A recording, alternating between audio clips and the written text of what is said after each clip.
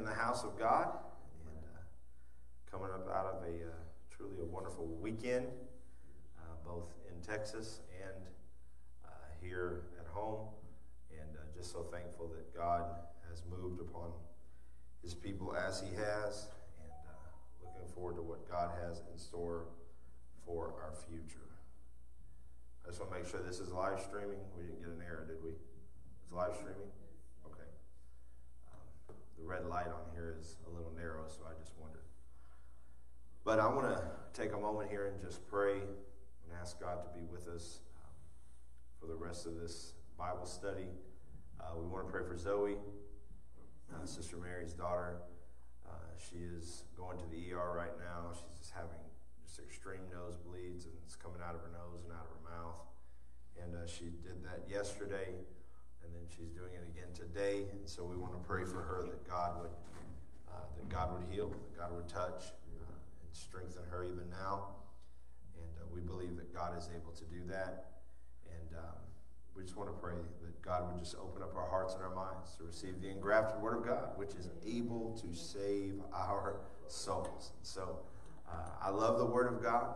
I think the Word of God is the most wonderful thing that the Lord ever gave humanity. Uh, and you say, well, what about Jesus? Well, he is the Word of God. so it is the most wonderful thing that God ever gave us was His Word, uh, both uh, in, in, in the person of Christ Jesus and also uh, in this wonderful book that we get to read. Uh, because the more we take this book and put it in our hearts, the more we become like God. And that is an awesome thing. Can you imagine that? God would take humanity put His word in them, make them like Him, so that then we can turn around and rule and reign with Christ uh, when He gives us those immortal bodies. Wow, man. It's incredible, isn't it? It's incredible. But let's pray and let's ask God to be with us, and then uh, we will hear from the Word of God. Lord, we thank you so much for this honor and opportunity to be in your house once again.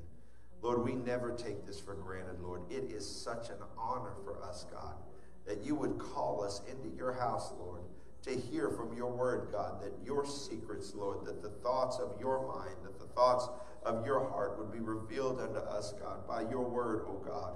What an incredible honor it is for humanity to have such a wonderful thing at our disposal.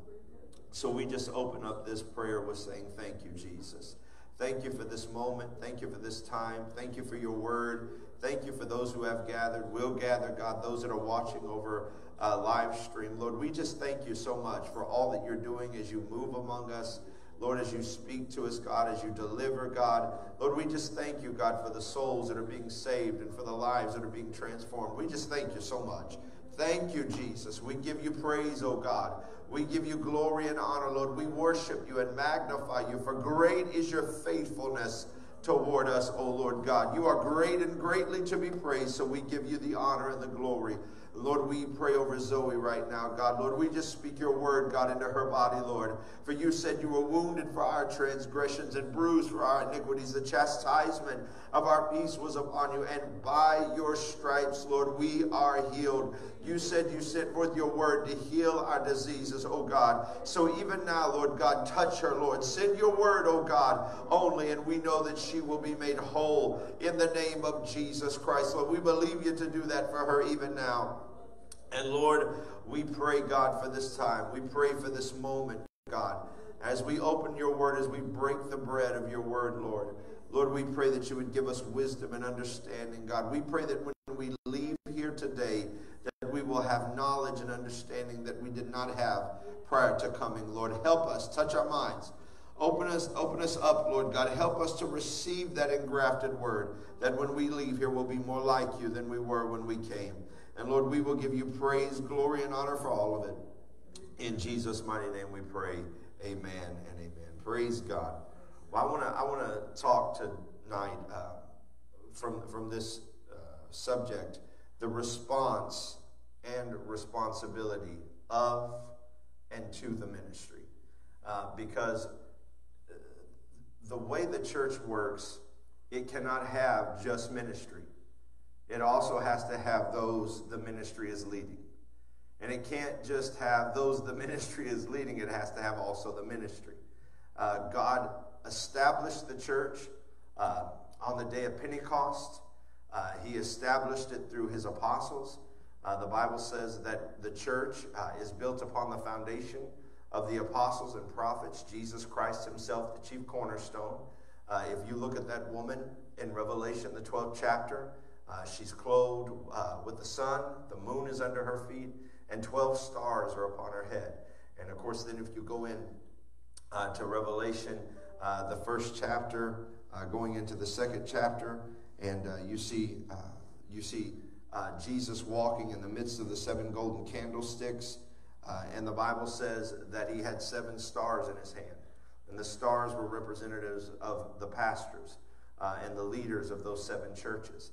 And, uh, and, and, and from what I can see from my perspective, uh, as the church unfolded, because we know it, is, it was first uh, inaugurated in Jerusalem on the day of Pentecost, uh, and the church began to unfold. And in every city, there were multiple uh, churches, uh, and this was, nece- this was ne- necessary because of the lack of transportation and travel. And they had many households, and which elders were placed uh, within those households that would help to lead and guide uh, those saints that would gather in that specific house.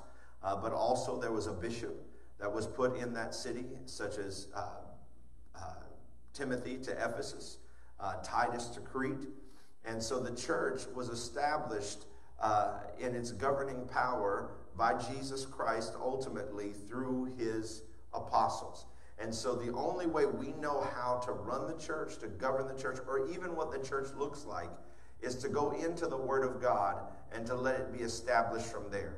Um, I, I am a huge proponent of everything has to be established by the Word of God. There's a lot of there's a lot of dysfunction and there's a lot of corruption within the church. Uh, ultimately, because much of the church is not established upon the Word of God. It's established upon uh, philosophy of men, it's established upon opinion of man. Uh, but if we are going to build a church in this last day that is going uh, to, to, to, to uh, turn the world upside down, it is going to have to be a church that is deeply rooted and grounded within the Word of God. There is no way around this. It has to be governed by the Scripture. And so, uh, last, uh, last time we did our Bible study, I talked about the qualifications uh, of ministry. And if you missed that, uh, if you're watching online, if you missed that, I encourage you to go back uh, two Mondays from now and uh, look at that Bible study because I believe it will touch your heart. It will make you understand what you need to be in order to operate within the function uh, of an official office within the church. Uh, and, and, and, and it's all given by the Word of God. We just went scripture by scripture.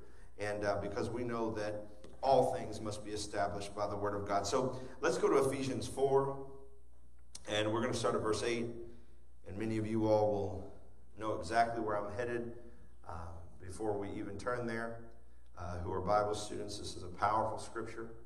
Um, because there must be a response from the congregation to the ministry.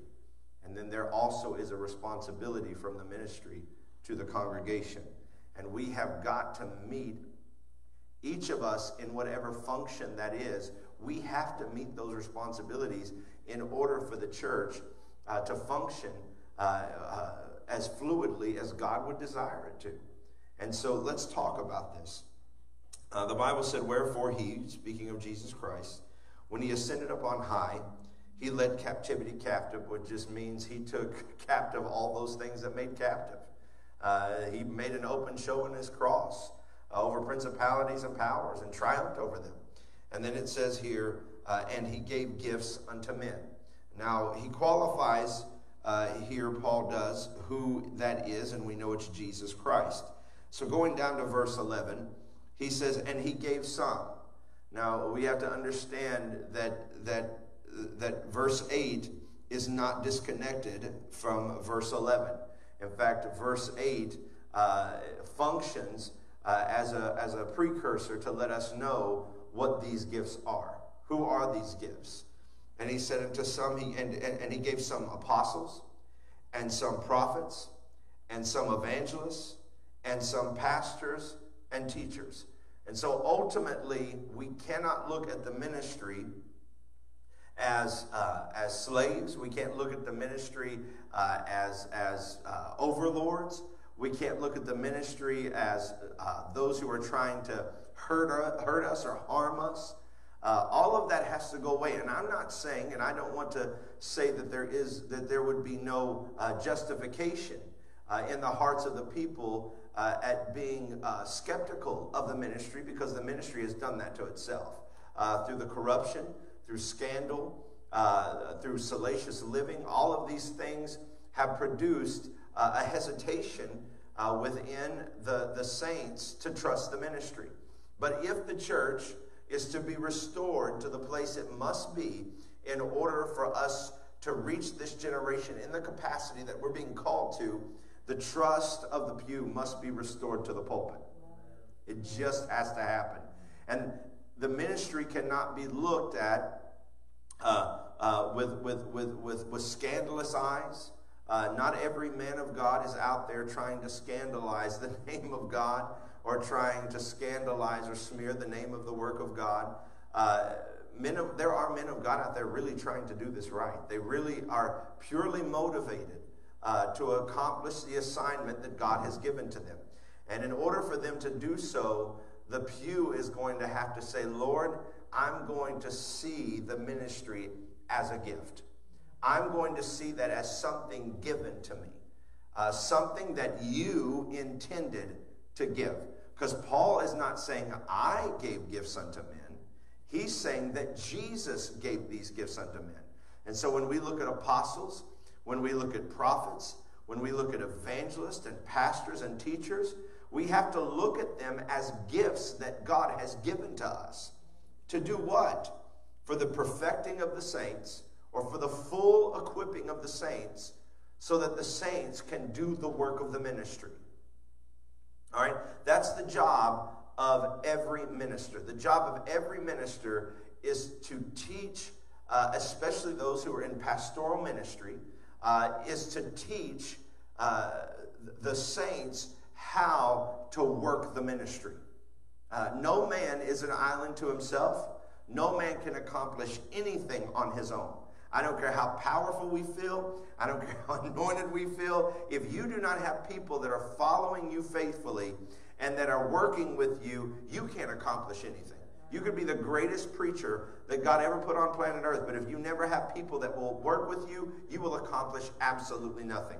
Uh, because it takes the body of Christ to accomplish the work of God. And so we have to see them as gifts that are preparing us to do the work of the ministry for the edifying of the body of Christ. Till we all come into the unity of the faith and of the knowledge of the Son of God into a perfect man unto the measure of the stature of the fullness of Christ. That seems improbable, but it is not. The ministry is here. Uh, Paul said, uh, My little children, of whom I travail in birth, until Christ be formed in you. That is the responsibility of every man of God that is given oversight over a congregation is that he travails, he works, he pushes, he prays, he weeps if necessary, whatever it takes so that the pew is not excited alone, but they're growing, they're maturing, they're developing, uh, they're, they're, they're, they're, they're, they're, they're being delivered uh, they're being set free, chains are being broken, yokes are being destroyed. In their lives, strongholds are coming down in their lives. That is the responsibility of a minister. And that doesn't just, that is not relegated alone to the sanctuary. That means also he's got to deal with things in their homes, deal with things in their hearts, deal with things in their minds. Why? Because the ultimate goal is to present to Christ. Paul said that I must present you to Christ a chaste virgin. That's my job. That's the job of every man of God.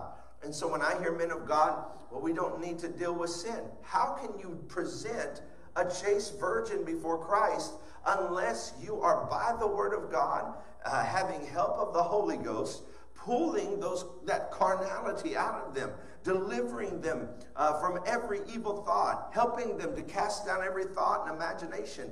How in the world can you do that if you will not deal with sin? Because sin is ultimately the, what produces uh, those thoughts. Sin is ultimately what produces that behavior. And so, for us to not deal with sin, no wonder the enemy came into the church to deceive us to stop dealing with sin because he knows that's what got Adam and Eve in, the, in trouble in the garden. That's what caused this whole problem.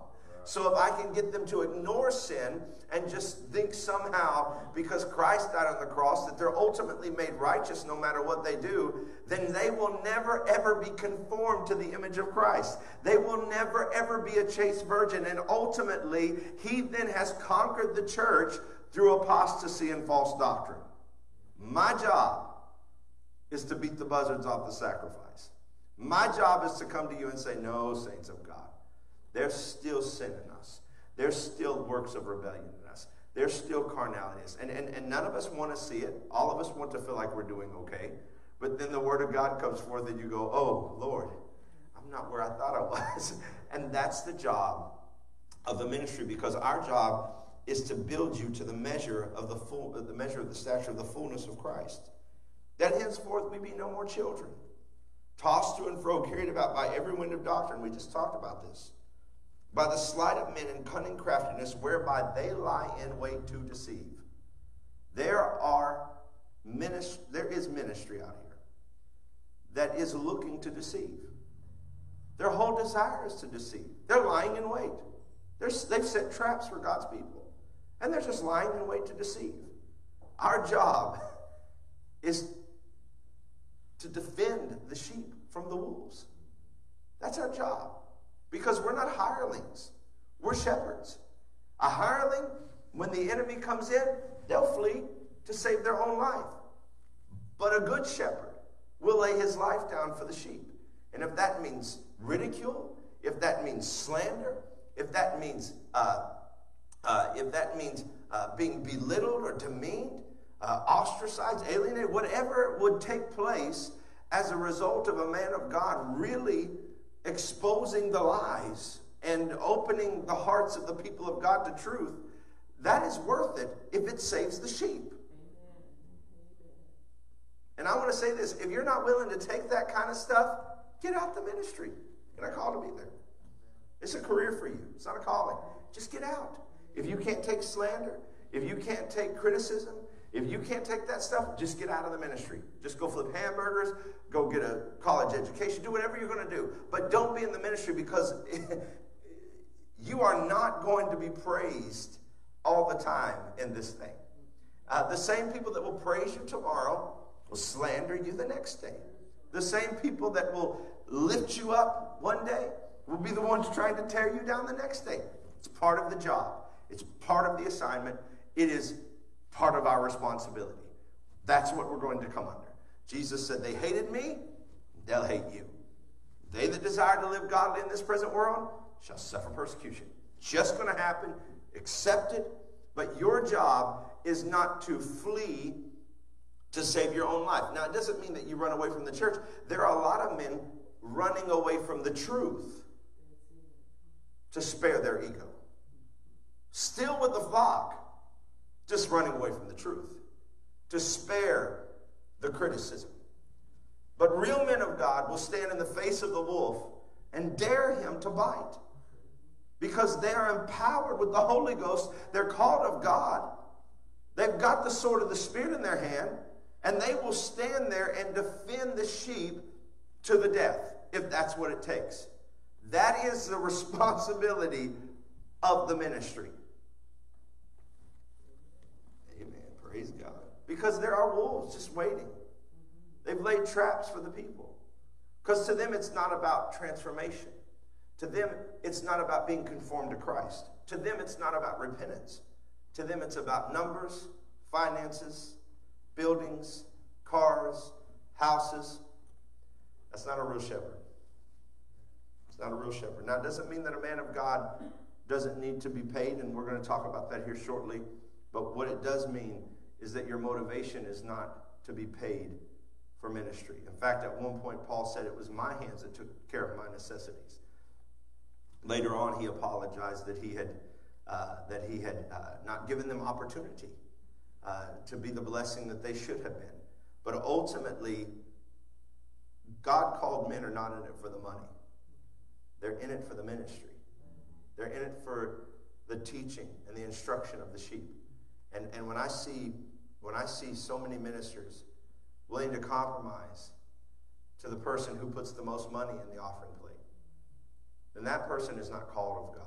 That person is not called. If they were, they've horribly defiled themselves. And they just need to go sit down and repent and try to be restored later on.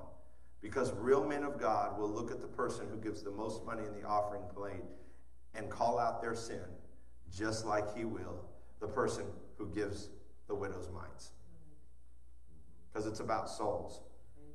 Amen. It's about souls. Because God will take care of us anyways. But he said, but speaking the truth in love doesn't mean that it's going to feel good when it comes out. It just means that you're saying that because you love them. A lot of this speaking the truth in love will use flowery words and, you know, and, and, and, and, and high voices and uplifting words. No, truth is spoken because you love them. That's what this is talking about. It just means you speak the truth because you love them. And sometimes you just say what is necessary. When Paul rebuked Peter in Antioch, boy, that was harsh. That was a powerful rebuke. He said, You're to blame. You're causing all this dissension. You're causing all this division. You're the problem, Peter. But Peter knew later on, after Paul had already been killed, when, when, when he wrote his uh, when he wrote his epistle, he said, Our dearly beloved brother Paul. He knew that even though Paul had corrected him, Paul had rebuked him, that Paul had done it because he loved him. And so don't think because sometimes rebuke is harsh. Jesus loved the Pharisees, but he said, You generation of vipers. He said, You, he said, You whited sepulchres. He said, You clean up the outside of the cup, but inwardly you're full of excess and extortion. I mean, he loved them, but he spoke the truth because he loved them. And so get this out of your head this euphoric idea uh, that when a man of God speaks the truth in love, that it's going to sound lovely. Sometimes it's going to come direct, sometimes it's going to feel harsh. But a man who is willing to take the chance for you to walk away from him and still tell you the truth, anyways, got a man of God loves you. Hang with that. Hang with that one, because he's the one that loves you. But it says here, uh, for whom, uh, but speaking the truth, that we may grow up into him in all things, which is the head, even Christ, from whom the whole body fitly joined together, compacted by that which every joint supplieth, according to the effectual working uh, in the measure of every part, maketh increase of the body unto the edifying of itself in love.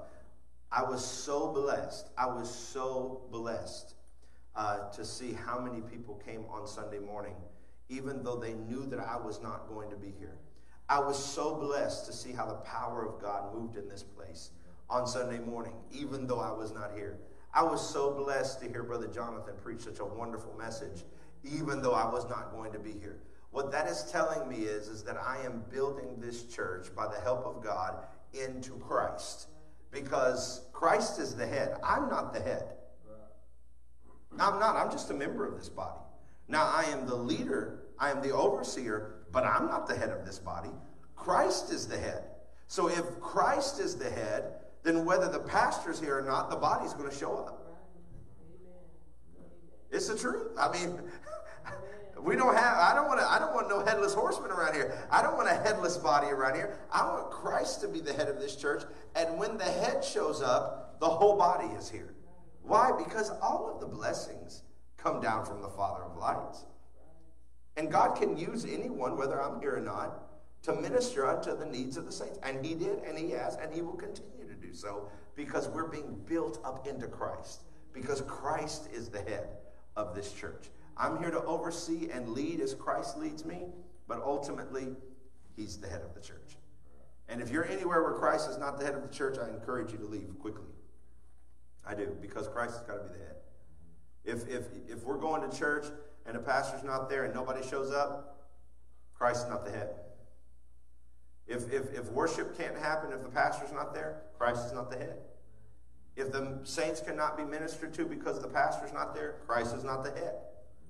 That's just the way it is. How do you know Christ is the head? Because with or without the preacher or the pastor, everything is functioning as it would, as if he was there. Why? Because Christ is the head. And the head is what gives all of the orders to the body. And so I was so encouraged this weekend to see how the Lord moved because I thought, Lord, thank you for allowing us to build the saints into Jesus Christ. That's a wonderful thing. And so, number one, we must view the ministry as gifts. That's what God has, God gave them. Christ gave them to us. Christ is, he's the head of his church, and he called them gifts. We must understand that their role is to fully equip us for the work of the ministry. I want to read this verse 12 in the Amplified Bible uh, because it's just really powerful. His intention was the perfecting and full equipping of the saints, his consecrated people, that they should do the work of ministering toward the building up of Christ's body, the church. So if I'm doing this right, you all are going to show up to fellowships like you did on Friday night, and you're going to fellowship and love one another. You're going to come together whether I'm here or not, and pray one for another, and preach to one another, and uplift one another, and encourage one another. That is a church that is being equipped to do the work of the ministry. And that's what this is all about. It was never to be a one man show. It was never, God never intended for the church to be a one man show. Now, there is scripture that tells us that when, the, when they would come together, that Paul was the chief speaker. You're always going to have that in the church. You're going to have that apostolic office where God's going to put uh, that, that, that authority uh, on that man. But it was never God's intention for that one man to be the sum total of all things. If you're in a church being underdeveloped because the pastor has to do everything, you got to go find somewhere to grow.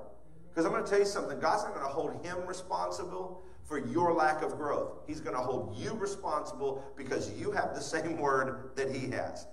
That's the reason why. Brother Jonathan, Brother David, Brother Justin, uh, Brother Earl, Brother Calvin, Brother Joe. I let those men work. Why? Because they got to grow. They got to grow in their gifting. They got to grow in their calling. My job is to bring the church to a place where it is fully equipped to do the work of the ministry. And we saw a little bit of that around here this weekend.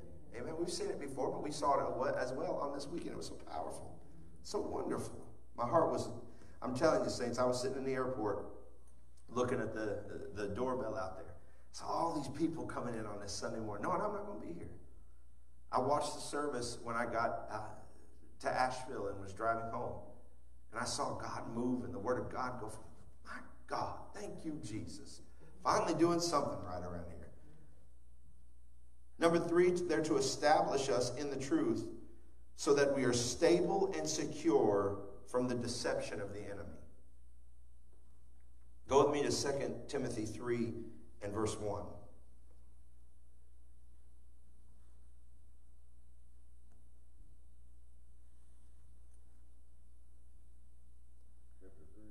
Chapter 3, 2 Timothy chapter 3.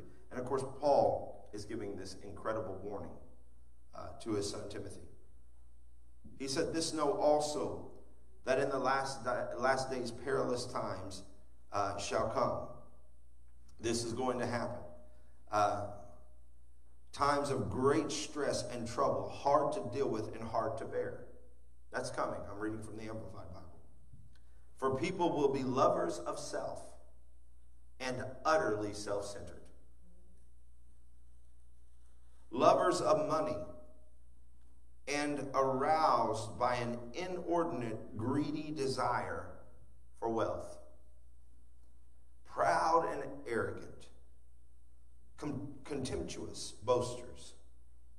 They will be abusive, blasphemous, scoffing, disobedient to parents, ungrateful, unholy, and profane. They will be without natural human affection, callous and inhuman. I mean, I don't know how He's just describing where we're at. He is describing the 21st century. I mean, he is completely describing this. Said, uh, re- relentless, admitting of no truce or appeasement. They will be slanderers, false accusers, and troublemakers. Intemperate means completely without self control, and loose in morals and conduct. Uncontrolled and fierce, and haters of good. They will be treacherous betrayers, rash and inflated with self conceit. They will be lovers of sensual pleasures and vain amusements more than and rather than lovers of God. You ever seen the sports world? I'll just use that for an example. There are many things I could use as an example, but let's talk about athletics. I love athletics uh, uh, from a standpoint of, of, of, of I watch, I love competition. But people will go to a football game every chance they can get. They will sit in those seats for five hours in all kinds of inclement weather. They will cheer on their team no matter how badly they're doing. They will scream and yell for their little idols running up and down a field with a football in their hand. And they won't spend a few minutes, couple hours in the house of God to worship God. Parents will take their children instead of bringing them to the church on Sunday and letting them be taught the Word of God. They'll take them to play baseball. They'll take them to run in parks. Problem is, is at the end of the age, is baseball going to save them? Is football going to save them? Is basketball going to save them? Absolutely not. Jesus is the only thing that's going to save them. And this is the gate of heaven. The church, if, if, you're not getting in there without the church. You're not going in without the church. Because if you can't submit, listen, the church is preparing us for the theocratic kingdom of Jesus Christ. We're going to talk about authority in a minute. But it's preparing us for the theocratic kingdom of Jesus Christ. If I can't be faithful to church, I'm going to resurrect in the first resurrection and rule and reign with Christ. If I can't submit to the authority of the ministry that He gave, but I'm going to submit to the authority of Christ in the resurrection and rule and reign with Jesus Christ. I'm going to be self centered and selfish, whether it be in my time, whether it be in my labor, whether it be in my finances. I'm going to be greedy and selfish. But when I resurrect, I'm going to be selfless and sacrificial. This is just not going to happen. But that's because we love this fickle entertainment. We love, people don't mind, they'll go below $100 at a movie theater. Won't give $5 to the offering. But when they resurrect, it's just not going to happen. The church is preparing us to rule and reign with Christ. Why do I need to be faithful to church? Because this is the place of your preparation. Can't follow rules, but you're going to follow rules when you get into the kingdom. Can't submit to authority, but you're going to submit to authority in the kingdom. Can't be selfish, selfless here, but you're going to be selfless in the kingdom. None of that is going to happen. This is, the, this is your preparation for the coming kingdom of Jesus Christ. We're talking about the knowledge of the glory of God taken by his ambassadors to cover the face of the earth as the waters cover the sea. But I won't tell anybody about Jesus in the, in the, in the, in the, in the supermarket. I won't tell anybody about Jesus at the gas station. I won't talk about Jesus at work. I won't tell anybody about Jesus in the restaurant. But you're going to take in the resurrection the gospel. And you're going to cover this. No. No, it's not going to happen. All of this is prep. This is preparation for you coming into the kingdom. And that's why you need to be in the church. It's not about a moral obligation. You need to be prepared for the coming of Jesus Christ. And you can't do that in the world. You can't do that sitting at a ball field. You can't do that sitting in a movie theater. You got to be in the church. Amen. Praise God. He said, lovers of sensual pleasure more than lovers of God. For although they hold a form of piety, they, they seem to be religious. They deny and reject and are strangers to the power of it. Well, I'm a Christian. I know Jesus. But you won't submit. You won't get your heart right. You won't let God direct your life. You won't, you won't come under authority. That is the power of this thing. It's transforming us. We as human beings are not naturally willing to submit to any authority. We're not. We are rebellious by nature. We are. We want to do our own thing and we want to do it our own way. So the Lord brings us into the church, puts authority over our life. And guess what you've got to do? You've got to die every single day until you can submit to that authority willingly. You come into the church, it's hard at first, man. You, oh, I mean, you're just every minute. But as you die to yourself, all right, Lord, this is the authority. And as long as they're leading me by the word of God, I submit. Lord, I'll do what I'm asked to do. I'll go where I'm asked to go. I'll, I'll, I'll, make the changes I'm asked to make by the word of God. These are, this is the Lord preparing you to submit to him in his kingdom. But can't do that on a ball field. Can't do that in a movie, movie theater. Can't do that in a concert hall. Can't do that out in the park. You got to come into the church because that's what's getting you ready. So we have to understand that men of God are given for this, for this reason. He said, Avoid all such people and turn away from them. For among them are those who worm their way into homes and captivate silly and weak natured and spiritually dwarfed women, loaded down with the burden of their sin, and, easily, and easily swayed and led away by various evil desires and seductive impulses. These weak women will listen to anybody who will teach them. They are forever inquiring and getting information, but never able to arrive at a recognition and a knowledge of the truth. Real men of God will take the Word of God by the Spirit of God and they will remove that silliness out of your heart. They will remove, they'll rem, they will put a sobriety in you. They will, they will so implant the Word of God into your heart that there's nobody could come to you and deceive you away from the truth. That is our responsibility as men of God. And that's the reason why I can't handle this. We don't need doctrine. You know what that tells me when I hear preachers say we don't need doctrine? That tells me I'm lazy, I'm incompetent, and I refuse to do the hard work that is necessary to gain the information that is required to teach God's people. That's exactly what it tells me. Because there's not a man of God who loves to study the Word of God, who loves the Word of God, who would give his life for the Word of God, that would ever make a statement that we don't need doctrine. Because the more you study and the more it impacts your life, you go, Lord, we don't have enough. God, we need some more. Teach us some more. God, open up my mind some more. That is our job. Men of God, that's your primary responsibility. Visiting the sick in the hospital is a wonderful thing, but that's not their primary responsibility.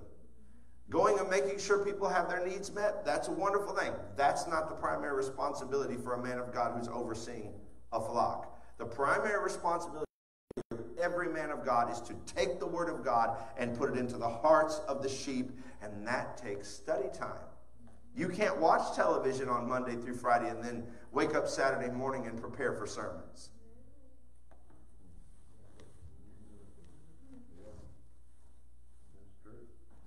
David said, Blessed is a man that walketh not in the counsel of the ungodly, nor sitteth in the seat of, nor standeth in the way of sinners, nor sitteth in the seat of scornful, but his delight is in the law of God, and in that law doth he meditate day and night.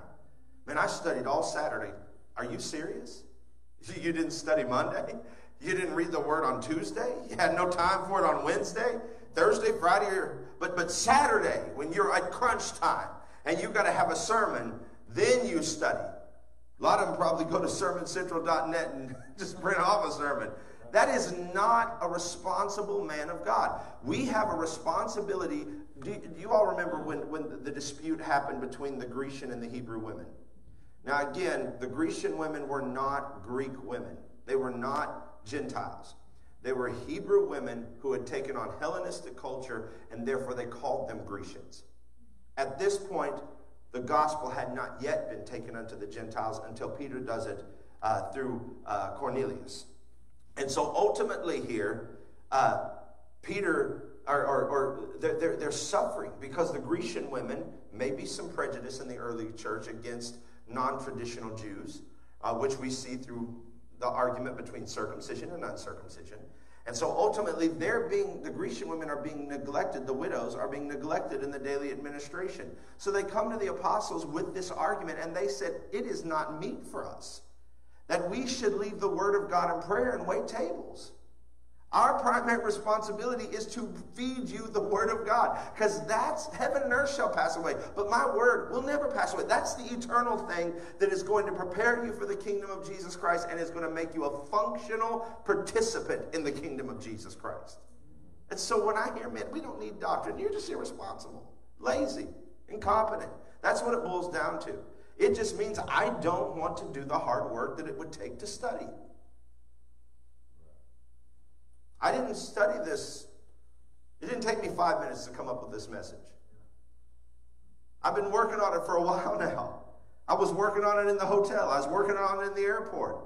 Been working on it all day long. Worked on it a couple days before that. Why? Because that's my responsibility. That's my job. The message I preached on Sunday night, I was studying that this week. Why? Because that's my job. And if you're going to be derelict in your responsibilities, just let somebody else do it. I'm talking about responsibility of ministry here. We need men of God that will raise up and take some responsibility. We need men of God who will raise up and love the Word of God. And every time they hear somebody say, We don't need doctrine, we need men of God to look them in the face and say, Well, all Scripture was given by inspiration of God and is profitable. By, by the way, one of the things it's profitable to is doctrine. It's just ridiculous, I know, but that's what the scripture says. But we need men of God who love the sheep. We don't need any more hirelings. We've had enough hirelings. We need true shepherds that say, Lord, you have given me responsible to, the responsibility of overseeing this flock. How can I help them to grow in you? How can I build them up into you so that when they die, they're ready for the kingdom? They're ready for the first resurrection. They're ready for it. Amen. Praise God. Go with me to 1 Timothy 4 and verse 13. I hope we're getting something out of this because I'm telling you. I hope there's a lot of preachers watching right now. People can say, well, who are you to tell me what to do? I'm not. The scripture is. But here in 1 Timothy 4 and verse 13. Now, here's what Paul told his son in the gospel, Timothy. He said, Till I come, give attendance to reading. Study. Not what he told him? Study to show yourself approved unto God, a workman who needeth not to be ashamed, rightly dividing the word of truth. He said, Till I come, I want you to give uh, some attention to reading, to exhortation, and to doctrine. Neglect not the gift that is in thee, which was given thee by, the by, the by prophecy with the laying on of the hands of the presbytery. Meditate upon these things. Now listen, all you men of God, I'm called, I want to be God. This is what Paul tells his son Timothy. And by the way, in case we didn't know it, Paul was the apostle to the Gentiles, so we should really take this seriously. I mean, this is incredible uh, admonishment. Meditate on these things. Give thyself wholly to them, completely to them, that thy profiting might appear to all. Take heed unto thyself and to unto the doctrine. Continue in them, For in doing so, thou shalt both save thyself and them that hear thee. That is our responsibility. I mean, if we're not going to teach doctrine, there's no purpose for us. Anybody can stand up and motivate people. It doesn't take a great person to motivate people, but it takes a disciplined man to understand the scripture. Why? Because he has to search them, he has to read, he has to study, he has to reference. All of these things are necessary, and that takes more than just a Saturday morning. It takes you continually attending unto them and giving yourself wholly to them so that you could save yourself, yes, but also all them that hear you. And so that is responsibility of ministry. The responsibility of ministry is to feed the flock of God. Go with me to um, uh, go with me to Jeremiah 3 and verse 15.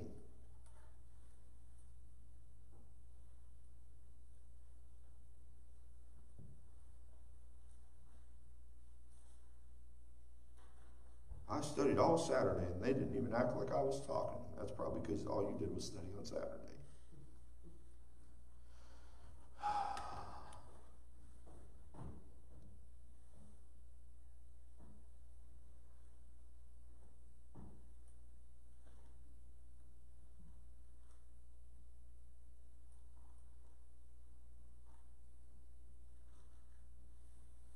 But here in, in, in Jeremiah 3 and verse 15,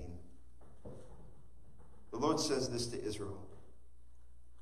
He said, and I'm reading from the Amplified, and I will give you spiritual shepherds after mine own heart in the final time, who will feed you with knowledge and understanding and judgment.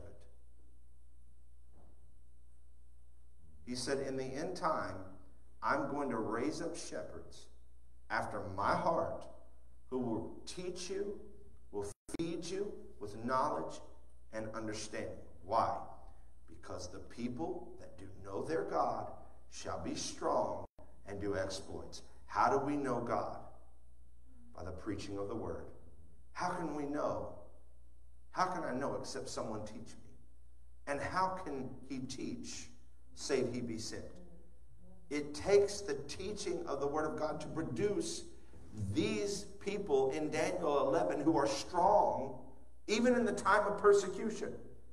Daniel 11, when, when the Lord is speaking of those who are strong, he's talking about people who are being persecuted. But then they that know their God shall be strong and do exploits. If I'm not feeding them doctrine, if I'm not teaching them the Word of God, who will they know? Who will they know? What will they do? They will crumble. They will be they will, they, they will be offended. They'll fall away. They'll depart from the faith, giving heed to seducing spirits. Let me help us. People are going to go after doctrine one way or the other. One way or the other. Whether it's truth or whether it's false, they're going to follow doctrine. Because the Bible said in, in the last days that many would depart from the faith, giving heed to seducing spirits and doctrines of devils. It's doctrine that leads them away. It's going to be doctrine that causes them to stay. One way or the other, they're going after doctrines. So we can sit in the middle ground and say, Well, I'm not teaching doctrine. Okay, they're going to follow the doctrines of devils. That's just the way it is. Because they're going after doctrine in the last days, one way or the other. So the Lord said, I'm going to give you spiritual shepherds after my heart in the last time that will feed you with knowledge and understanding and judgment. That's a powerful verse, isn't it? Isn't that an awesome verse?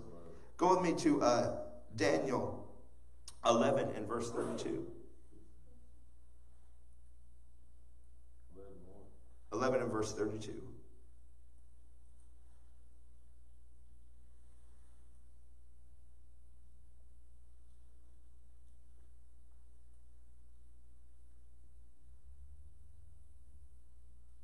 This is talking about the coming of the man of sin, the coming of the Antichrist, uh, of which Antiochus Epiphanes is a he's a precursor. He's, he wasn't the Antichrist because ultimately Antiochus Epiphanes, I think, is something like 135 years or something like that.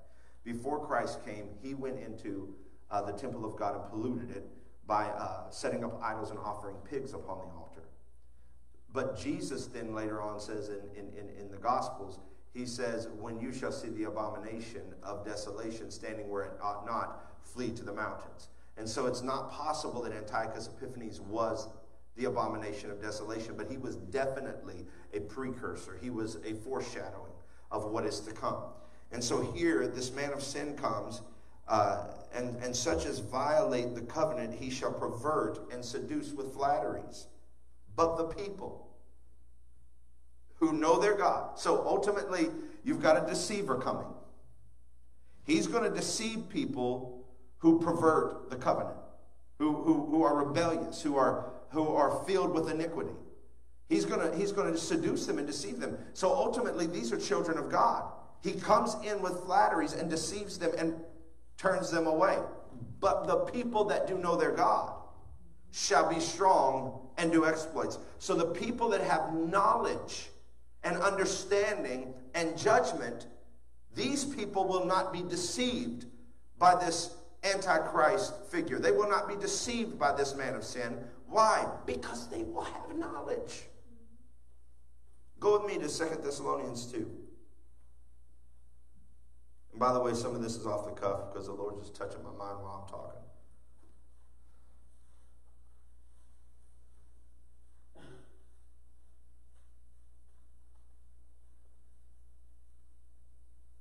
And I, am reading again from the Amplified. But, but, rel- re- but relative to the coming of the Lord Jesus Christ, the Messiah, and our gathering together to meet him, when are we going to gather to meet him? When he comes. that's pretty simple. I mean, I believe people already meet him. Well, that's not what Paul said. He said, We meet him when he comes. We, we beg you, brethren, not to allow your minds to be quickly unsettled or disturbed or kept excited or alarmed, whether it be by some pretend revelation of the Spirit or by word or letter alleged to be from us, to the effect that the day of the Lord has already arrived and is here. He said, Look, I don't want you to be deceived. People come, I believe the Lord could come tomorrow. No, he cannot come tomorrow. You may, your time may be up tomorrow. I will not, I will not deny you that. But the fact of the matter is, there is a lot of prophecy yet to be fulfilled before the coming of the Lord.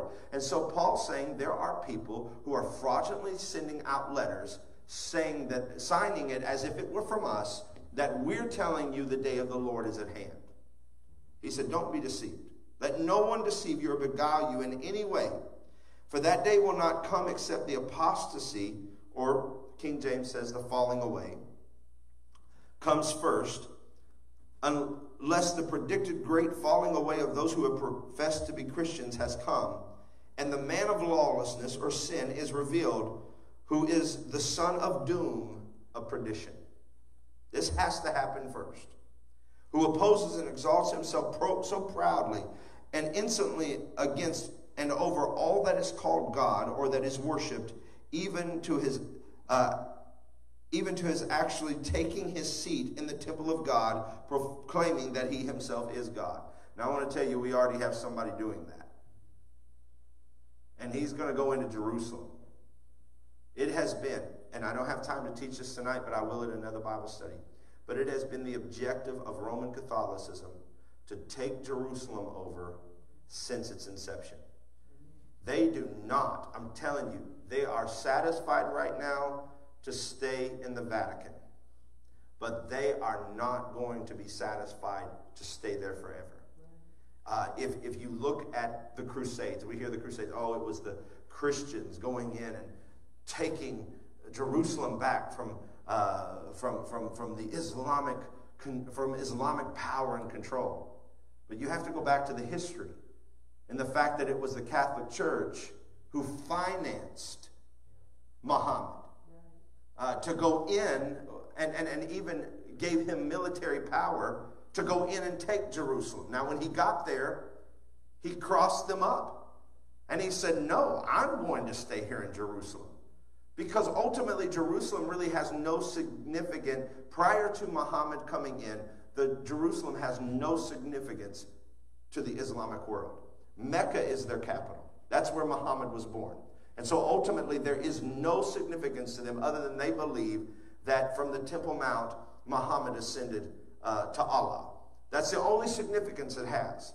But prior to then, it was the Roman Catholic Church under the guise of Muhammad and his crusaders taking over Jerusalem so that they would in turn give Jerusalem to Roman Catholicism and the Pope could set up his throne in Jerusalem, by the which he would take uh, the theocratic government of God and establish it around the world.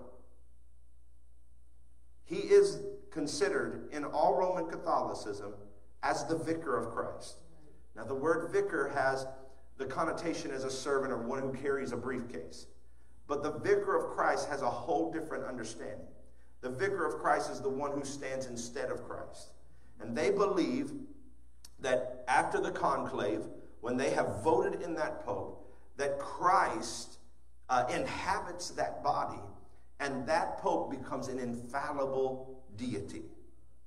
And all of his proclamations become absolute because he is Christ on earth.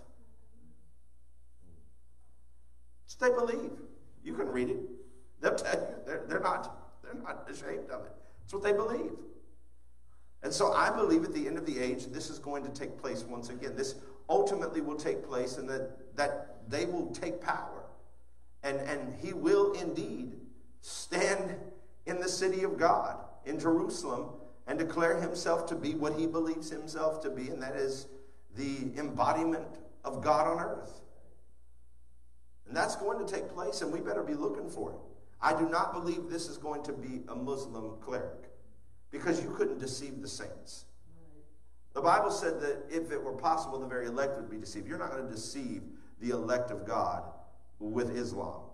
But you can deceive the elect of God by perpetuating yourself as a Christian and as some great power of God. And so we need to be watchful, saints of God. That's your job, men of God, is to get the people ready for this coming.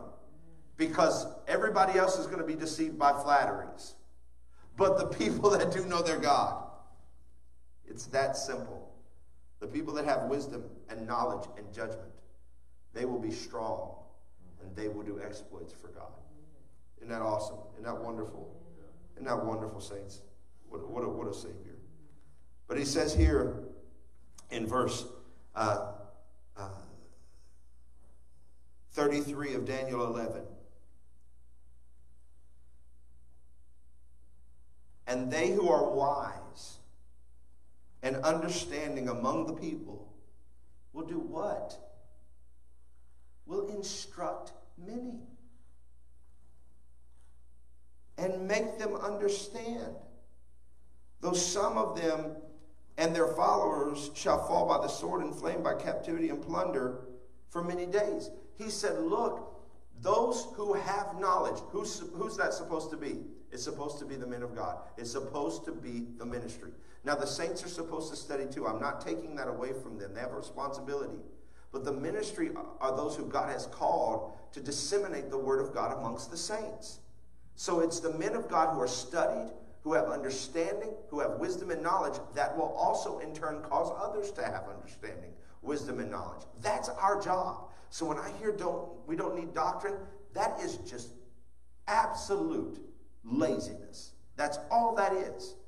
Well, I don't want to be divisive. Doctrine is divisive. Of course it is. That's what the Word of God was. Jesus said, Think not that I am come to bring peace, but a sword. And I will set a variance between father and son, between mother and daughter, and mother in law and daughter in law. The Word of God does divide. And we can't just sit there and say, well, you know, we don't need to know this, and this is really not important. Once we start dividing the Word of God up in what is important and what isn't important, we are already in serious trouble. Every Word of God is important. All Scripture was given by inspiration of God and is profitable. It's profitable. Go with me to Acts 20, verse 28. And the reason why I'm hammering on this responsibility of the ministry before I talk about the response of the saints is because we need to see a ministry raise up that has a serious understanding of their responsibility. We talked about the qualifications of their calling the last time, but now we need to really, really begin to understand our responsibility. Because if we don't, man, again, God's just going to replace us. He's going to take us out and put somebody in the wheel. For, frankly, saints, God has done so much for me. I just don't want to fail Him now. I want to know that I pleased the Lord. I want to know that I pleased Him. But here in Acts 20 and verse 28,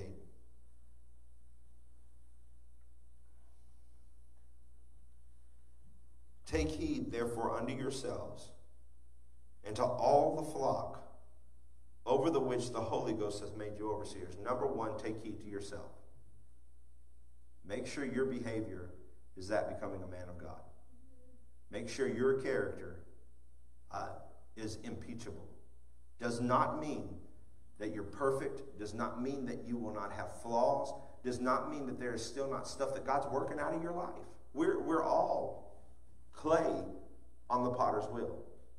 But there's a difference between a struggle with sin and having impeachable character. And that all has to do with motivation. Whether I really want to be right before God, or whether I'm in a position where I feel like I am uh, unquestionable, where I feel like I'm unaccountable, and therefore I can do what I want and still profit from this thing. That's not a man of God who's taken heed to himself. You know, having mistresses and being uh, being uh, lustful of gain and, and power and influence. That's not a man of God who's taken heed to himself. Because ultimately, God's going to bring that stuff out, and all it's going to do is destroy the saints. And a man who loves, you say, Pastor, do you ever get tempted? Are you kidding me? Do I look like I'm in an angelic body? Do I look like I'm in an immortal body? Of course, temptation comes. But when you're taking heed to yourself, Number one, you're saying, if I do any of this, I'm lost. And then, two, if I do it, the saints are destroyed. Is this worth it? Absolutely not. And you dismiss that temptation quickly because you have weighted against the value of it against uh, the chaos that it will cause. It's not worth it. It's not worth it. It's just not worth it. I'm telling you, it's not worth it. But here in Acts 2020, he said, Take heed to yourself and to the flock over which the Holy Ghost has made you overseers to feed the church of God, which he, Jesus Christ, hath purchased with his own blood. My God, if we ever understand the value of God's people, my Lord, if I'm telling you, if men of God will ever understand what God has put in their trust, these are not just beings that they can manipulate and play with. These are the saints of the living God. The Bible said in the days he will make up his jewels. These are jewels to God, precious, for which Christ purchased them with his own blood. And to be reckless, to be chaotic, to be irresponsible and lazy, my God, those men don't understand. A man that acts like that, immature, irresponsible, unsettled, chaotic, confused, won't study, won't teach, won't hold people accountable, won't correct, won't rebuke, won't reprove. That man doesn't understand who he's got in his charge. He sees them as just entities. When I look at this church and I see it filled up with people, I don't see these as my sounding board, as my audience. These are the saints. We're going to have a meeting here in September that, that we'll be bringing saints in. We won't be able to have it here, but we'll have, we'll have it at another facility. You know what we do when, when we go when we have our meeting? We go into that facility and we clean it from top to bottom. You want to know why? Because the saints of God are coming. We have dinner for them. We prepare meals for them. You want to know why? Because they're the saints of God. We serve them with humility. We serve them with all of our heart. You want to know why? Because they're the saints of God. We pray and ask God to deliver and make a great move in that meeting. Why? Because the saints of God are coming. That's the mentality we must have. These are God's children. And so when I, I don't I don't teach doctrine. Doctrine is, you know, I, I heard a man say, well, I didn't hear him say, but I heard someone tell me, he said, doctrine is what preachers do when they have nothing better to do. What? Are you out of your ever loving mind? That is your call. That is the craziest thing I've ever heard. That man has no regard for the people that are in his charge. He doesn't realize who's in his charge. These are the saints, these are the jewels. These are precious in the sight of God. And you are given charge over them to feed them and prepare them for the kingdom of Jesus Christ. Mm-mm, not something to take lightly. Go with me to 1 Peter 5 and verse 1.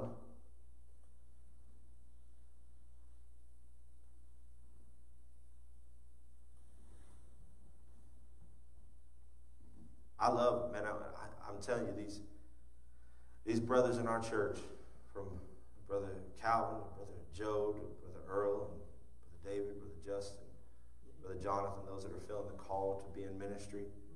Man, one of the things I love about them is their love for the Word.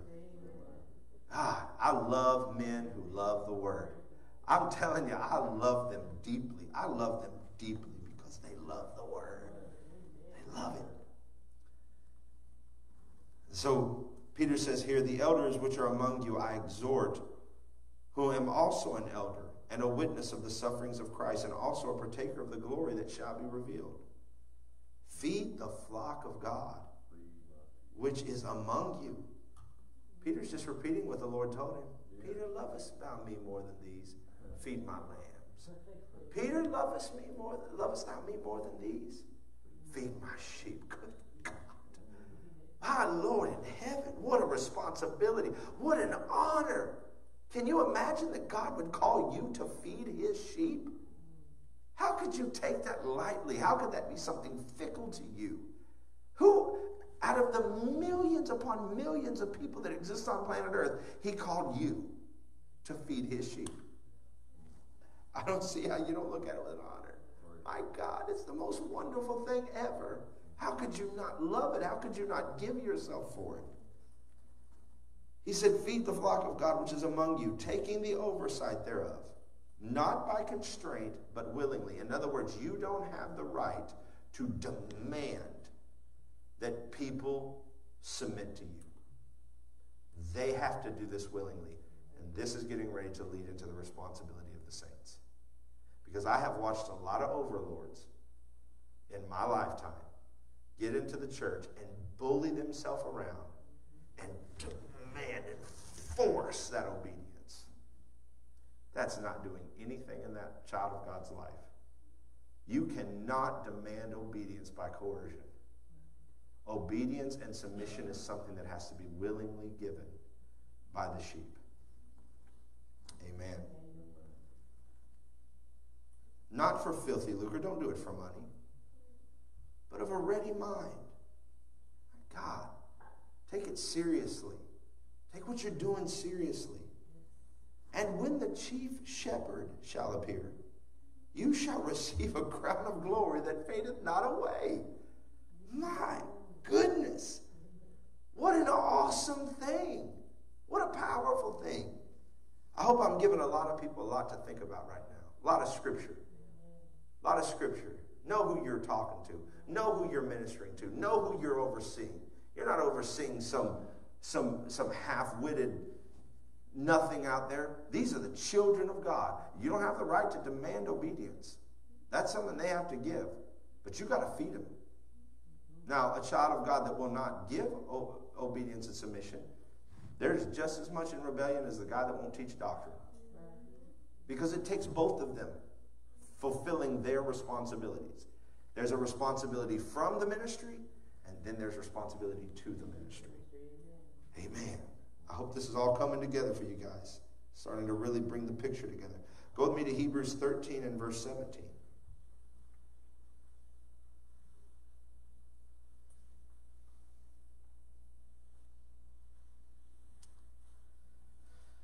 And I'm going to read this from the Amplified Bible. Praise God. Little warm in here, so I'm going to turn the air on. Y'all warm or y'all fine? Uh, y'all see how much I love y'all? You see how much I love y'all? I want the air on, but I'll, I'll, I'll take it. I'll take it. I'll, I'll just sit here and take it. I'll take it. I'll take it. He is gone. I'll take it. 13 and verse 17. And I want you to hear this because this uh, is your responsibility to the ministry. Not from, but this is your responsibility to the ministry. This is the saints in their responsibility to the ministry. Obey your spiritual leaders and submit to them, continually recognizing their authority over you. Now, like I said, we are all born and we're just rebellious. And it takes dying to yourself to submit to authority. It really does. It takes, I don't, somebody said, well, I, I submit to my leader. Let, let me give you a piece of advice. Submission is not ever found in agreement. Submission is found in disagreement. It's when they do something that you don't like. That's when really the submission is found. Whether now, as long as it's not apostate or it's not heretical, but it's just something you don't personally like, but you still submit anyways. That's our responsibility as people to the ministry. We have a responsibility to them. And one of our responsibility is to submit to them, continually recognizing their authority over us. Because these are gifts. These are not just guys. These are not just your buddy, your bro, your pal, your homie. These are the men of God who have been given to the church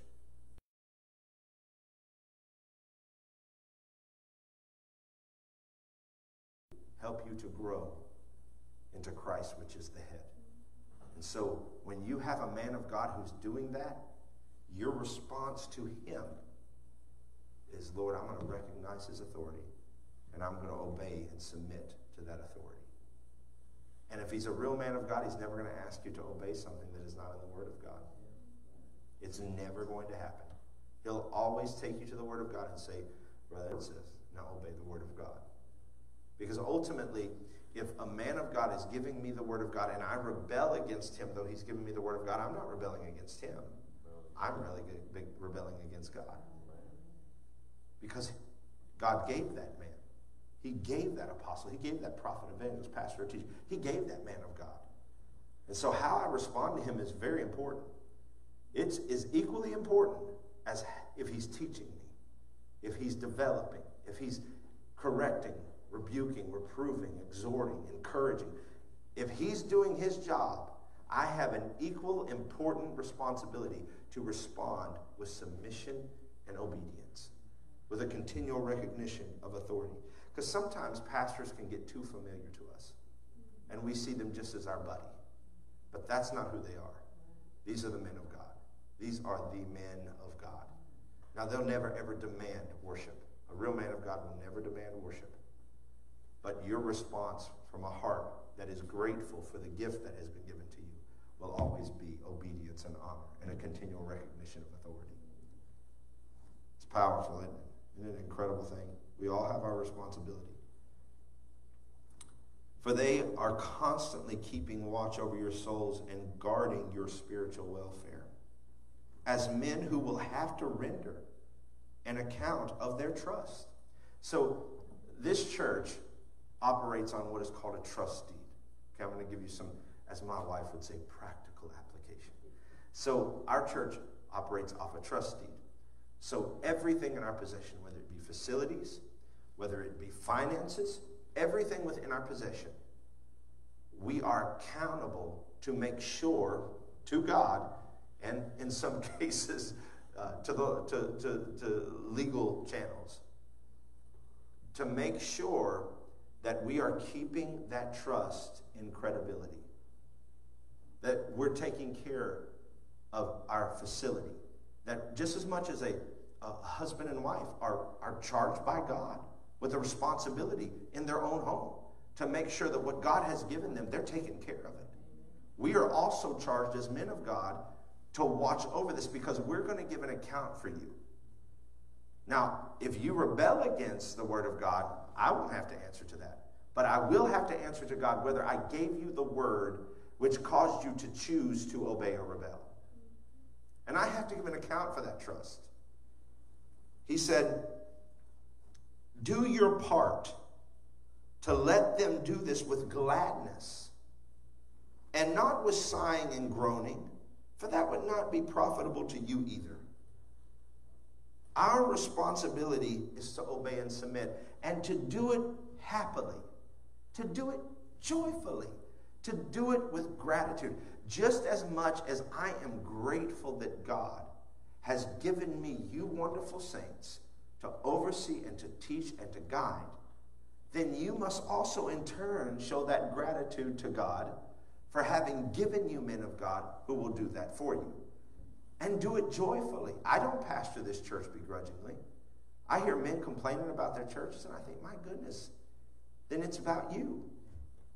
Because if you really knew who you were pastoring, you wouldn't complain about them. Does that mean it doesn't get discouraging at times? Does that mean it doesn't get frustrating? Of course it does. You're dealing with humanity. But then when you sit back for a moment and you think, but still, I've got the greatest job on planet Earth. Brother Joe Garrett, I was on the phone with him today, and he said something that was great. He said, You will never, ever be in trouble in marriage as long as you think you got the best deal out of it. He said, It's the same way in the church. You will never be in trouble as long as you look at the church and say, I'm really the one that got the better deal out of this. That was a powerful statement. I thought, well, praise God. Amen. So, Chandra, I'm going to work on that. I got the better deal. All right. I got the better deal. I got the better deal. but ultimately, do, do that with gladness. Do that with a joyful spirit. As long as what they're guiding you by, directing you by, correcting you by, encouraging you by is the Word of God, be happy. Be happy that God gave you somebody that cared about you, that loved you. A lot of men out there lying in wait to deceive. There's only really a few true men of God left who are doing this for the right motivation. Amen. Then he said, keeping, keep praying for us. For we are convinced that we have a good, clear conscience, that we want to walk uprightly and live a noble life. This is responsibility of men, of God. To live a noble and honorable life. Acting honorably and in complete honesty in all things. That's our responsibility. He said, I beg of you to pray for us, the more earnestly, in order that I may be restored to you, the sinner. The response of God's children is pray for their leaders. Pray for them. Humbly submit. Humbly obey. Do it with a grateful heart. And then pray for them. Listen, we face so many attacks, and they come constantly on us. Because the enemy knows if he can strip the church of good men of God, he can get the flock. He knows it. Strike the shepherd, the sheep will scatter. He knows that. He read it too. So when you when you guys think of your leaders, me, the elders and ministers of the church, pray for us. Pray for us because the enemy's out there after us. He's headhunting. He's wanting. He's wanting it. He's wanting to. He's wanting to get us out of here. So pray for us. Part of your responsibility to us is also to pray for us, and it's to pray that God will give us great doors of utterance, open great doors of utterance, that God will give us wisdom and knowledge. And if we will do that, listen, if, if you will pray for the pastor that you're under, you won't have so many problems with him. A lot of people who have constant problems with their pastor never pray for them. But if you really pray for your pastor, you won't have so many problems with him. It's the truth. God will put a love in your heart. God will put an admiration in your heart. God will put an honor in your spirit for him. And so, so pray for your pastors, pray for your leaders. God give them to you. Um, whew, there's so much here. There's so much here. Go with me to Ephesians 6 and verse 18.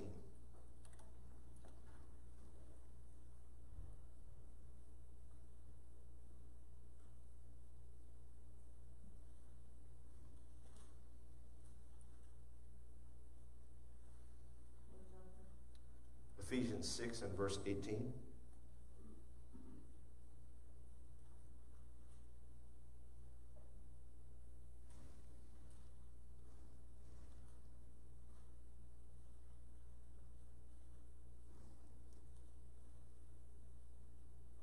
Pray at all times and on every occasion and every season in the Spirit.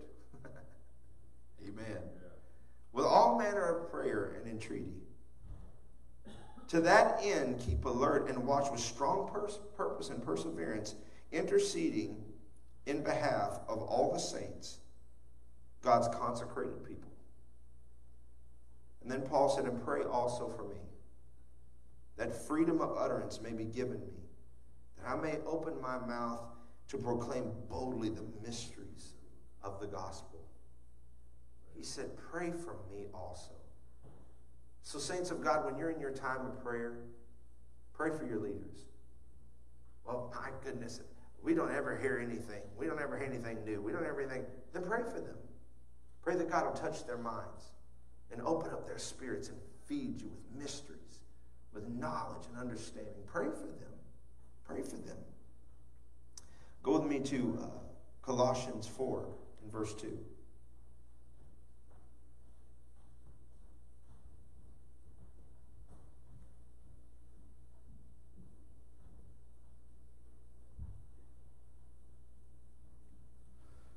Course, Paul is pretty much saying the same thing here. It's almost the same thing, it's just using different uh, vernacular. He said, Be earnest and unwearied and steadfast in your prayer life, being both alert and intent in your praying with thanksgiving. And at the same time, pray for us also, that God may open a door to us for the word to proclaim the mystery concerning Christ, on account of which I am imprisoned that I may proclaim it fully and make it clear, speak boldly and unfold that mystery, as is my duty. That's my job. That's your job, period. So pray for us that God will give us boldness, that God will give us wisdom and understanding. Pray for us. We need it. That's your response to us. That's your responsibility to us that you will pray that God will give us boldness and that God will give us wisdom and clarity and an open door to preach the Word of God, which is our responsibility. 1 Timothy 5 and verse 17. I hope a lot of the saints are watching this right now because of the ministry. And if the saints will do their part, whoa. What a work of God. What a work of God.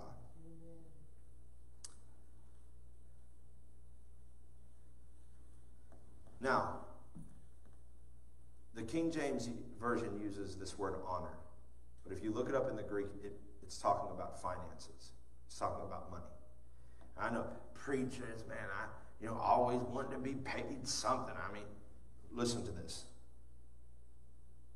Pastors who do their work well should be paid well and should be highly appreciated, especially those who work hard at both preaching and teaching.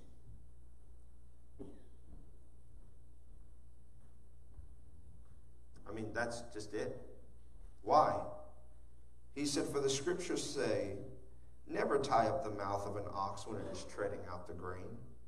Let him eat as he goes along. And in another place, it says, Those who work deserve their pay. And so, a congregation that has a man of God in it who's working hard to preach and to teach that congregation, who's doing their job well. Paul says here that they're worthy of double honor, or rather, that they should be paid well and held in high regard, highly appreciated. Highly appreciated. I've known churches that have had great men of God in it, and they didn't appreciate them. They didn't appreciate them. They saw them as, you know, well, you work for us. No, they work for Christ. No, no pastor ever works for the congregation. He works for Jesus Christ. He's the gift given. His boss is Jesus Christ, which I would wish we would take that actually seriously. That we're answering to the Lord. We're not answering to the deacon board. We're not answering to the congregational. Uh, in, in, there are congregational churches that I know. And that pastor answers to that congregation. He stands up and preaches and teaches something they don't like. They'll vote him right out and put somebody else in. That is a blasphemy. That is blasphemous. If you are in a congregationalist church, get out. I'm just telling you. You have no right to dictate the ministry. You don't have the right. Either God will send someone and put them in there, you don't put them in there. You don't put the ministry in the church. The Bible says that God does that. He's the one that calls. And that man of God, if he's doing that job well, if he's giving attention to preaching and to teaching and to study of the word, Paul says, pay him very well. Hold with high. That's the response of the congregation. Because you don't bridle the ox that treads out the corn. And the workman is worthy of his hire. That's what the King James says. So ultimately, that is part of the responsibility of the congregation. So all these, now I get it. There are guys out there making multiplied millions of dollars, and they're charlatans, they're shysters. I get that. I'm not discounting any of that at all. But not every man of God and a charlatan. And somebody said, Well, I don't think a preacher should make that much money. What? You pay him what he's worth. You pay him highly for what he's worth.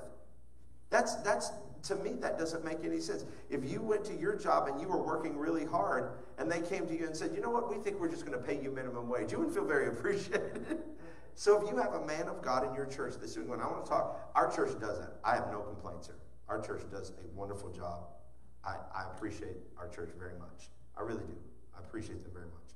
But if you've got a man of God that is teaching and preaching to you, don't you ever feel defrauded by paying him. Don't you ever do it because he's worthy of it.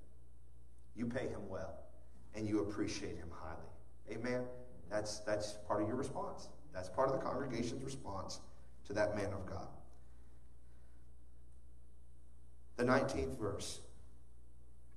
Don't listen to complaints against the pastor unless there are two or three witnesses to accuse him.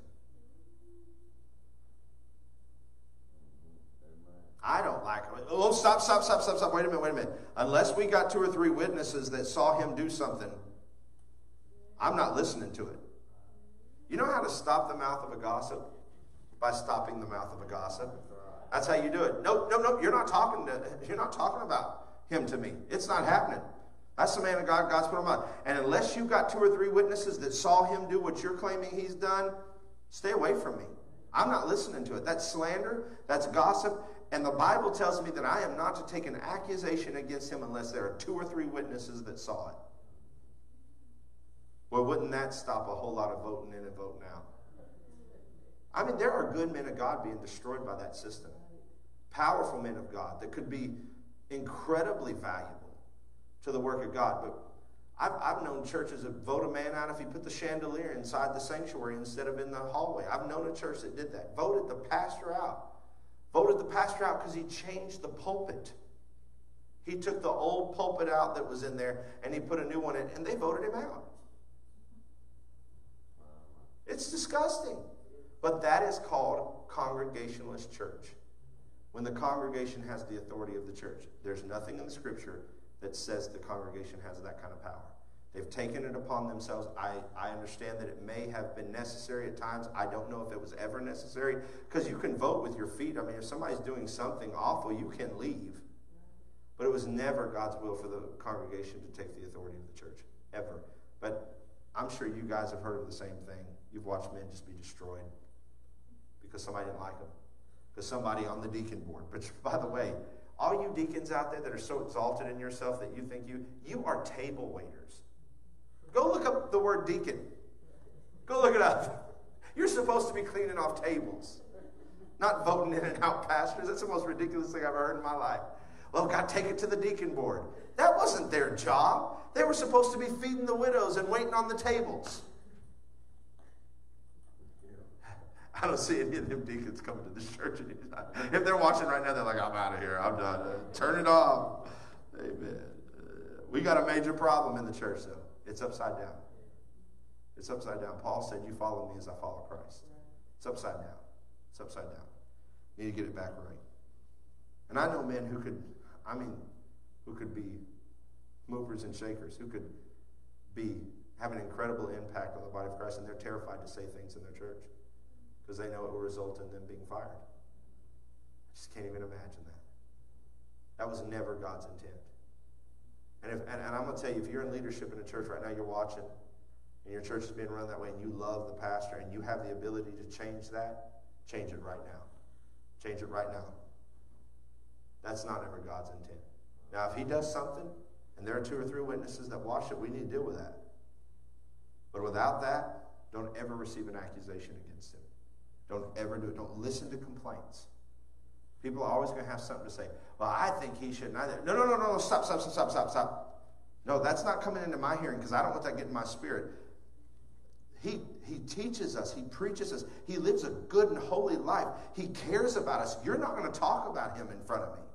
You take that garbage and you throw it in the trash can because these ears are not a dumpster for the filth that you're wanting to spew into my spirit. That's how you stop gossips. And people say, Well, I can't. I people just keep coming and talking to me because you're a gossip. You listen. That they would listen. Every gossip I ever shut down never came and talked to me again. Never did. They never said another word to me because they were like, Pastor Jerrod's not going to listen to this. So if you shut them down, they'll never talk to you. If they keep talking to you, it's because you won't shut them down. I'm just telling you. Just helping you out. There's so much here, but I don't think that I'm going to be able to get through it all. But the fact of the matter is, saints, is men of God are responsible, as we talked about, to teach, to oversee, to watch, to hold the saints accountable to give them the word of God. They're not to be lords over God's heritage. There's, no, there's never to be an overlord. There's never to be that. They can't demand you submit. But you, in turn, have a responsibility to submit and to obey and to take care and to pay them well and to, and to, and to appreciate them and to, as they follow Christ and to pray for them and to lift them up before God, that God would speak powerfully to you through them. And so, my I heard somebody say one time if everybody knew the law, there would be no lawyers. And if everybody knew how to do surgery, there would be no surgeons. And if everybody knew how to pastor, there would be no pastors. God has called them, He's given them insight and understanding that we need. And if, and if something, pray that God would put it in His spirit. Pray that God would put it on His heart. That's how we help the ministry. That's how we strengthen them. That's how Aaron and Hur lift up the hands of Moses. Because as long as they kept his hands up, Israel was getting the victory. And it's the same way in the church. As long as you keep the hands of the ministry who's fulfilling their responsibility, as long as you keep their this one, you're always going to come out with victory. And so I hope in this hour and 40 minutes we've had that I've done, that I've given you enough scripture to make you understand number one, ministry, this is your responsibility. Number two, saints, this is your response. If we will do both of those adequately and with excellence, there'll be no mountain that we cannot move. There'll be no, there'll be no community that we cannot turn upside down. It is going to be something to behold as this church and as every church that is watching this and every saint that is watching this puts this word deep in their heart. I cannot wait to see the results. Amen. Amen. Wash, pour water on the hands of a man of God. Amen. Paul talked about it. I'll, I'll give you just uh, one portion of scripture that you can go to. It's Romans 16, verse 1 through 6. Read that. And look at all these people that Paul was saluting and thanking and commending because they helped him. And in a lot of uh, doxology or the uh, finishing of the chapters of Paul's epistles, he will mention people that helped him, people that took care of his needs, people that you know were there to support him. No man, Paul would have never been the great apostle if he hadn't had these people. And this church will never, ever reach its height if we decide today, oh, I'm not going to do my responsibility and I'm not going to fulfill my responsibility. If y'all are watching, y'all are here, if we will keep on the trajectory that we are headed, we will all stand back in just a few years and go, look what the Lord has done. This is the Lord's doing, and it is marvelous in our eyes. And so I hope this has helped us. I hope this has given us some information we need. Um, and, and, and really, you apply a lot of this even to our homes uh, as men of God, as priests of our homes, as leaders of our homes, as wives and children, how we're to respond in our responsibility and our response uh, to each other. And we'll talk about that at a later time. Uh, but let's, let's do our job. If we will all do our job, this thing's going to be what it's supposed to be. All right, Saints, God bless you guys. I hope this has been beneficial to you. I hope this has been a blessing. I hope you that are watching that God has really spoke to your heart as well. And we pray that God will cause, allow this impact many of the churches that we love and care about and watch them grow exponentially. I, I don't want this church to be the only shining star. I want every church that I fellowship and love, and really any church that is, is doing it the right way. I want to see them grow exponentially because that means we're reaching souls and people are being changed and transformed and prepared the coming of Jesus Christ. All right, God bless you guys. Have a great night. We'll see you Wednesday.